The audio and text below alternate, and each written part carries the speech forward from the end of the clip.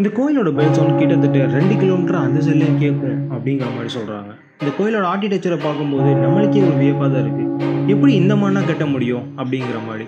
But இந்த ஒரு கோயிலை கட்டி கிட்டத்தட்ட நூற்றி முப்பத்தி நாலு வருஷம் ஆகுது. பட் இந்த நூற்றி முப்பத்தி நாலு வருஷத்துக்கு முன்னாடி இந்த ஒரு கோயிலை எந்த ஒரு பிரிட்டிஷ் ஆட்சியும் கட்டல எந்த ஒரு மன்னரும் கட்டல. இந்த சேர்ச்சை கட்டினது யாருன்னு பார்த்தீங்கன்னா கடல் தொழில் செஞ்சுட்டு விட இந்த ஊர் மக்கள் தான் கேட்கும்போதே ரொம்ப ஆச்சரியமாக இருக்குல்ல? நானும் அதே ஆச்சரியத்தோடு தான் இருந்தேன். சரி இந்த ஊரை பற்றி நான் ஏன் தெரிஞ்சுக்கணும்? அப்படிங்கிற மாதிரி உங்களுக்கு ஒரு கொஸ்டின் வரும். அதுக்குள்ள பதில் லாஸ்ட்டில் உங்களுக்கே புரியும்.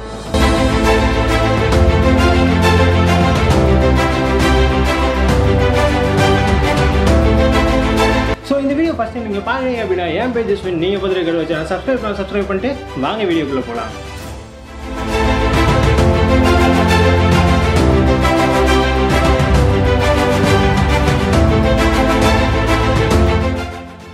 பேர்ல் சிட்டி ஏன் பேர்ல் சிட்டி அப்படிங்கிறத சொல்கிறாங்க அதாவது முத்து நகரம் அப்படிங்கிறத ஏன் சொல்கிறாங்கன்னு பார்த்தீங்கன்னா இந்த ஒரு தூத்துக்குடி டிஸ்ட்ரிக்டில் எல்லாருமே முக்கால்வாசி பேர் என்ன பண்ணுறாங்க அப்படின்னா கடலும் கடல் சார்ந்த ஒர்க்கும் தான் பண்ணிகிட்டு இருக்காங்க. ஸோ அந்த கடலும் கடல் சார்ந்த ஒர்க் என்னென்னு பார்த்தீங்கன்னா மீன் பிடிக்கிறது முத்து புளிக்கிறது அண்ட் அந்த முத்து அந்த சங்கு அப்படிங்கிறத நிறைய பொருட்களை இன்னொரு இடத்துக்கு அனுப்புறது அப்படிங்கிற மாதிரி நிறைய விஷயம் பண்ணிகிட்டு இருக்காங்க. ஸோ அந்த காலத்துலேருந்து இந்த காலம் வரையும் எல்லாருமே இந்த ஒர்க் அதாவது கடலும் கடல் சார்ந்த ஒர்க் தான் நிறையவே பண்ணிகிட்டு இருக்காங்க. சரி இந்த கடல் சார்ந்த ஒர்க் எப்படி ஸ்டார்ட் ஆச்சுன்னு பார்த்தீங்கன்னா முக்காலத்தில் பாண்டிய மன்னர்கள் இருக்கும்போதே என்ன நடந்திருக்குன்னு பார்த்தீங்கன்னா கடலும் கடல் வளமும் ரொம்பவே நல்லா இருந்திருக்கு. அதாவது இங்கேருந்து மீன் பிடிச்சி இன்னொரு இடத்துக்கு கொண்டு போகிறது அண்ட் இங்கேருந்து சங்கு முத்து அப்படிங்கிறத இன்னொரு நாட்டுக்கே அந்த டைமில் அனுப்புறது அப்படிங்கிற மாதிரி நிறைய பிஸ்னஸ் நல்லாவே போயிட்டு இருந்தது. கடல் வளம் நல்லா இருக்கிற காரணத்தினால தான் பாண்டிய மன்னர்களோட கொடியில் மீனோட சிம்பிள் இருக்குது கிபி ஆயிரத்தி முன்னூறாவது வருஷம் எகிப்திலிருந்து மைக்ரேட் ஆகி பழைய காயில் அப்படிங்கிற ஒரு துறைமுகம் வழியாக காயல்பட்டினம் வந்து சேர்றாங்க சில அரப் பீப்புள் அந்த டைமில் சுந்தரராஜ பாண்டியன் அப்படிங்கிற ஒரு பாண்டிய மன்னர் ஆட்சி பண்ணிட்டு இருந்தார். அவர் அந்த அரா பீப்புள்ஸை வரவேற்று வீரபாண்டியன் பட்டினம் அப்படிங்கிற இந்த ஊர் பக்கத்தில் உள்ள காயல்பட்டினம் அப்படிங்கிற ஒரு ஊரில் தங்க வைக்கிறாரு. இந்த ஒரு மக்கள் எப்படி கடல் தொழில் செய்யணும் அப்படிங்கிறத அந்த அரா பீப்புள்ஸுக்கு சொல்லி கொடுக்குறாங்க. காலங்கள் போக போக இவங்களோட நட்பும் ரொம்பவே நல்லா போயிட்டு இருக்கு ஸோ இவங்களோட நட்பு எந்த லெவலுக்கு போயிட்டு இருக்குன்னு பார்த்தீங்கன்னா இந்த ஊர் மக்கள்கிட்ட உள்ள பொண்ணுங்களை அந்த அரா பீப்புள்ஸுக்கு கட்டி கொடுக்குற அளவுக்கு ரொம்பவே ஒரு புனிதமான நட்பாக போயிருக்கு.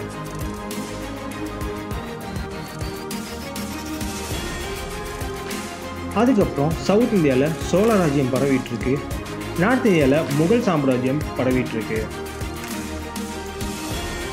சோழ மன்னர்கள் என்ன பண்ணுறாங்க அப்படின்னா இந்த ஒரு வரி வரி விதிப்பு அப்படிங்கிற இந்த டேக்ஸஸை என்ன பண்ணுறாங்கன்னா ரொம்ப இன்க்ரீஸ் பண்ணுறாங்க ஸோ இந்த எக்ஸ்போர்ட் பிஸ்னஸில் என்ன நடக்குதுன்னு பார்த்தீங்கன்னா அவங்களுக்கும் இவங்களுக்கும் ஒரு சி- சின்ன சண்டை வருது. அந்த சண்டை எதுவாக உருவாகுதுன்னா ஒரு பெரிய போராகவும் உருவாகுது. ஸோ பெரிய போராக உருவானதுக்கப்புறம் திரும்பவும் பழையபடி இவங்க அந்த ட்ரேடிங் பிஸ்னஸை பார்க்க ஆரம்பிக்கிறாங்க. ஸோ அதுக்கப்புறம் என்ன நடக்குதுன்னா சோழ மன்னர்கள் கொடுக்குற டேக்ஸை இவங்களால பே பண்ண முடியல. ஸோ அந்த டைமில் யார் வராங்கன்னு பார்த்தீங்கன்னா போர்ட்டுகீஸ் வராங்க. அதாவது ஆயிரத்தி ஐநூற்றி முப்பத்தி மூணாவது வருஷம் என்ன நடக்குதுன்னு பார்த்தீங்கன்னா போர்ட்டிகேஸ்ட்டை போய் இவங்க ஹெல்ப் கேட்குறாங்க.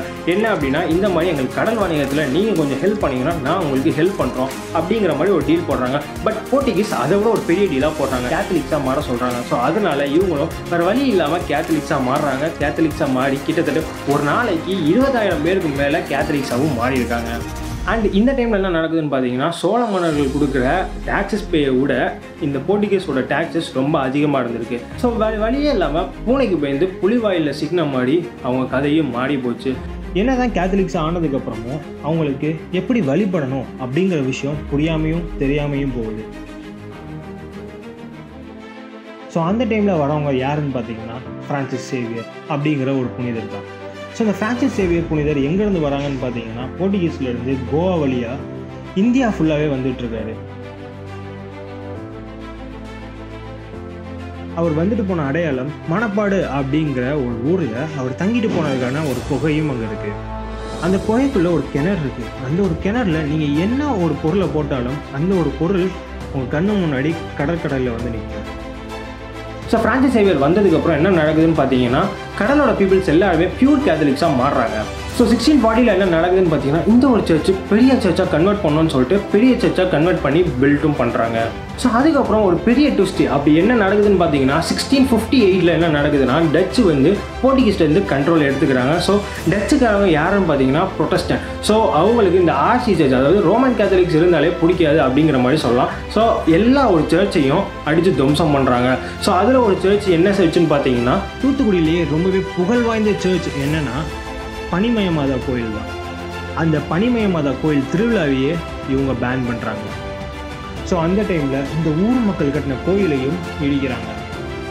ஃபஸ்ட்டு ப்ரொடஸ்டன் சர்ச்சாக தூத்துக்குடியில் ஒரு சர்ச்சை டச்சுக்காரங்க ஸ்டார்ட் பண்ணுறாங்க ஸோ டச்சு அந்த பீரியடில் என்ன நடக்குதுன்னு பார்த்தீங்கன்னா கிளாத் ஃபேக்ட்ரி ஒன்று ஸ்டார்ட் பண்ணுறாங்க ஸோ அந்த ஒரு கிளாத் ஃபேக்ட்ரினால இந்த ஊர் பீப்புள்ஸும் சரி எல்லா ஊர் பீப்புள்ஸுமே அந்த கிளாத் ஃபேக்ட்ரியிலேருந்து கிளாத் வாங்கி இன்னொரு இடத்துக்கு ட்ரேட் பண்ணுறதை ஸ்டார்ட் பண்ணாங்க. ஸோ இதுக்கப்புறம் ஒரு பெரிய ட்விஸ்டே வருது அப்படிங்கிற மாதிரி சொல்லலாம். தூத்துக்குடியை சீஸ் பண்ணுற அளவுக்கு செவன்டீன் எயிட்டி ஃபைவ்ல பிரிட்டிஷ் ஆட்சி உள்ளே வருது. இமானுவேல் பெரேரா அப்படின்னு சொல்லக்கூடிய ஒரு ஃபாதர் என்ன பண்ணுறாங்கன்னா பாரிஸ் பிரீஸ்டை இந்த ஒரு சர்ச்சுக்கு நியமிக்கிறாங்க. ஸோ அதுக்கப்புறம் அவர் என்ன சொல்கிறாருன்னா இந்த ஒரு சர்ச்சை நான் பெரிய லெவலில் கட்டணும் அப்படிங்கிற மாதிரி அவரோட ஸ்ட ஒப்பீனியனை சொல்கிறாரு ஸோ அதுக்கு மக்களும் ஏற்றுக்கிறாங்க ஸோ நம்மளும் கட்டுவோம். ஒரு பிரச்சனை இல்லை அப்படின்னு சொல்லிட்டு எல்லா மக்களும் பிரிட்டிஷோட ஆட்சியில் என்ன பண்ணுறாங்க அப்படின்னா கொழும்பு அதாவது ஸ்ரீலங்காவில் உள்ள கொழும்பு அப்படிங்கிற ஒரு இடத்துக்கு போ மூவ் பண்ணி போகிறாங்க இப்போ கொழும்பு அதாவது ஸ்ரீலங்காவுக்கு போகிற ட்ராவல் எப்படின்னு பார்த்தீங்கன்னா இங்கேருந்து பாம்பன் பாலம் வழியாக தனுஷ்கோடி அப்படிங்கிற ஒரு இடத்துல போய் சேரணும். ஸோ அதுக்கப்புறம் தலைமன்னாடு அதாவது ஸ்ரீலங்காவில் உள்ள தலைமன்னாடுக்கு தனுஷ்கோடியிலேருந்து ஒரு ஷிப்பை ஏறி போகும் ஸோ தலைமன்னாடுலேருந்து கொழும்புக்கு இன்னொரு ட்ரெயின் போகும். ஸோ இது எல்லாத்தையும் ஒரே விஷயம் தான் கனெக்ட் பண்ணுது. என்னன்னு பார்த்தீங்கன்னா ஒரே ஒரு டிக்கெட்டை வச்சு இவ்வளோ இடத்துக்கும் போயிடலாம். ஸோ இந்த ஒரு ட்ராவலை கேட்கும் போதே கொஞ்சம் நல்லா இருக்குல்ல? ஸோ எக்ஸ்பீரியன்ஸ் பண்ணாமல் போயிட்டோம் அப்படிங்கிறதுல எனக்கு கொஞ்சம் வருத்தமாக தான் இருக்குது ஸோ அந்த டைமில் என்ன நடக்குதுன்னு பார்த்தீங்கன்னா இந்த கோயிலும் டெவலப் ஆகிட்டு இருக்கு அட் த சேம் டைம் ஊரும் டெவலப் ஆகிட்டு இருக்கு அப்படிங்கிற மாதிரி சொல்லலாம். ஏன் பார்த்தீங்கன்னா இங்கே வந்து எக்ஸ்போர்ட் பிஸ்னஸ் அதாவது இந்தியாவிலேருந்து ஸ்ரீலங்காவுக்கும் நிறைய விஷயங்கள் போகுது. அதே மாதிரி ஸ்ரீலங்காலேருந்து இந்தியாவுக்கும் நிறைய விஷயங்கள் வந்துட்டு இருக்கு அதில் ஒரு சின்ன எக்ஸாம்பிள்ஸ் என்ன அப்படின்னா என்ன டின்னு ராணி சோப்பு அப்புறம் பொட்டு அப்படிங்கிற மாதிரி நிறைய விஷயங்கள் இந்த ஒரு பண்டமாற்று முறையில் நடந்துருந்துருக்கு இருந்திருக்கு ஆகஸ்ட் ஃபிஃப்டீன் எயிட்டீன் எயிட்டி சிக்ஸில் என்ன நடக்குதுன்னு பார்த்தீங்கன்னா இந்த ஒரு சர்ச்சு பெரிய லெவலில் உருவெடுத்து ஓப்பன் பண்ணுறாங்க ஸோ ஸ்ரீலங்காவிலேருந்து இந்தியாவுக்கும் இந்தியாவிலேருந்து ஸ்ரீலங்காவுக்கும் பண்டமாற்று முறை நடந்துகிட்டு இருக்கும்போது இந்தியா வந்து இண்டிபெண்ட் ஆகுது. ஸோ அந்த டைமில் என்ன நடக்குதுன்னு பார்த்தீங்கன்னா நைன்டீன் சிக்ஸ்டி ஃபோரில் தனுஷ்கோடியில் ஒரு புயல் வருது. ஸோ தனுஷ்கோடியே ஃபுல்லாக அழிஞ்சு போயிடுது. அடுத்து நைன்டீன் செவன்டி ஃபோரில் என்ன நடக்குதுன்னு பார்த்தீங்கன்னா இந்திரா காந்தி கச்சத்தீவை வந்து ஸ்ரீலங்காவுக்கு எழுதி கொடுத்தனால இங்கேருந்து ஸ்ரீலங்காவோட பீப்புள்ஸோட ஸ்ட்ரென்த் வந்து ரொம்ப கம்மியாகிட்டே போயிருந்திருக்கு. ஸோ இதுக்கப்புறம் என்ன பண்ணணும் அப்படிங்கிற மாதிரி எல்லாருமே ஒரு அப்படியே ஸ்டாப் ஆகி நிற்கிற டைமில் என்ன நடக்குதுன்னு பார்த்தீங்கன்னா ஷிப் ஷேலிங் அப்படின்னு சொல்லக்கூடிய இன்டர்நேஷனல் ஷிப்புக்கு எல்லாருமே மூவ் பண்ண ஆரம்பிக்கிறாங்க. ஸோ நிறைய பேருக்கு கப்ப கடலும் கடல் சந்தை ஒர்க்கும் தெரிஞ்சனால இந்த மாதிரி ஷிப் ஷெயிலிங்குள்ளே உள்ளே போய் சேர்ந்துடுறாங்க. சில பேர் என்ன பண்ணுறாங்கன்னா அந்த ஊரில் உள்ள ஸ்கூலில் படிச்சுட்டு அந்த படிப்புக்கு ஏற்ற மாதிரி வேலையும் பார்க்க ஆரம்பிக்கிறாங்க. இந்த ஊரில் ஃபுட்பால்ங்கிற கேம் ரொம்பவே ஒரு ஃபேமஸான கேம் அந்த காலத்திலிருந்து இந்த காலம் வரையும் எல்லாராலையும் விளையாடப்படுற ஒரு கேமாக இன்ன வரையும் திகழ்ந்துட்டு இருக்கு ஸோ டூ தௌசண்ட் லெவனில் என்ன நடக்குதுன்னு பார்த்தீங்கன்னா ஹண்ட்ரட் டுவெண்ட்டி ஃபைவ் இயர்ஸை வந்து இந்த ஒரு சர்ச்சு கம்ப்ளீட் பண்ணியிருக்கு. இந்த ஒரு கதையிலேருந்து என்ன சொல்ல வரேன்னா அந்த காலத்திலேருந்து இந்த காலம் வரைக்கும் நிறைய விஷயங்கள் மாறிக்கிட்டே தான் இருக்குது பட் நம்மளுக்குள்ள ஒரே ஒரு விஷயம் மட்டும் இன்ன வரைக்கும் மாறாமல் இருக்குது அது என்ன அப்படின்னா அன்பு பாசம் ஒற்றுமை.